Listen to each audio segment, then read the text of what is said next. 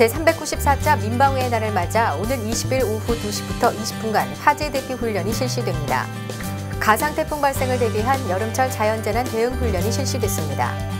지난 10일 남상우 소방방재청장은 강원도 수해복구공사 현장을 점검했습니다. 조성환 소방방재청 차장은 지난 12일 여름철 풍수해를 대비해 경기 지역 공사 현장을 점검했습니다. 남상호 소방방재청장은 지난달 27일 발생한 지하철 3호선 도곡역 방화 현장에서 신속한 대처로 대형 참사를 막은 용감한 의인 2명에게 표창장을 수여했습니다. 네마 뉴스입니다. 먼저 첫 번째 소식입니다. 제394차 민방위의 날을 맞아 오는 20일 오후 2시부터 20분간 화재 대피 훈련이 실시됩니다.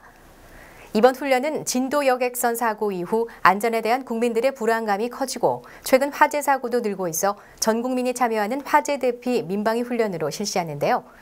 오후 2시 정각에 전국에 동시 훈련 경보 음성 안내가 나가면 건물주나 건물 관리자는 건물 화재 비상벨을 울리고 옥내 방송을 해야 하며 주민은 화재 시 국민행동 요령에 따라 안전한 곳으로 대피하시면 됩니다. 소방방재청에서는 전국민 화재 대피 훈련으로 대형 마트, 백화점, 터미널, 영화관 등 다중이용 시설을 이용하는 고객들이 혼란스럽지 않도록 미리 집중 홍보를 할 계획입니다. 또한 이번에는 시군구별로 긴급 차량의 골든타임 확보를 위해 긴급 차량 길터주기 불시 출동 훈련도 함께 실시됩니다. 다만 강화, 연천 등 접경 지역 15개 시군구는 예전처럼 민방공 대피 훈련이 실시돼 공습 경보가 발령되면 주민과 차량의 이동이 통제되며 유도 요원의 안내에 따라 가까운 지하 대피소 등으로 대피해야 합니다.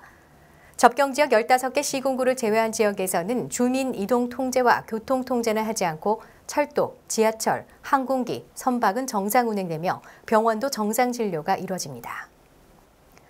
가상 태풍 발생을 대비한 여름철 자연재난 대응 훈련이 실시됐습니다.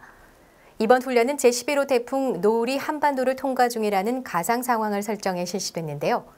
17개 시도, 227개 시군구가 훈련에 참여해 태풍 진행 상황에 따라 기관별 상황 판단 회의를 개최하고 13개 협업 기능별 현장 대응 및 수습 상황 보고와 중대본 훈련 메시지 전파에 따른 지자체 처리 결과 보고 훈련을 실시했습니다. 또한 훈련을 통해 기관별 협업 기능의 부족한 부분을 개선 보완해 나가기로 했습니다. 소방방재청은 평상시 이러한 훈련을 통해 지자체의 풍수의 대응 역량을 향상시킬 수 있을 것이라고 밝혔습니다. 지난 10일 남상우 소방방재청장은 강원도 수해 복구공사 현장을 점검했습니다. 지난해 강원도는 호우 피해로 207세대의 이재민과 707억 원의 재산 피해, 도로, 하천 등 1,750곳의 공공시설이 피해를 입었는데요. 이중 1,564곳은 복구가 끝났고 186곳은 마무리 공사 중입니다.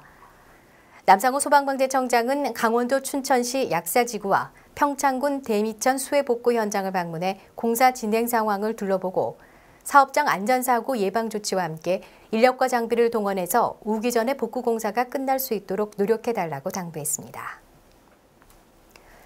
조성환 소방방재청 차장은 지난 12일 여름철 풍수해를 대비해 경기 지역 공사 현장을 점검했습니다. 조 차장은 경기도 화성 동탄 2지구 택지개발 사업장에 있는 저류지와 공사 현장을 둘러보고 택지 개발로 인해 재해 위험 요인이 없는지 확인했습니다.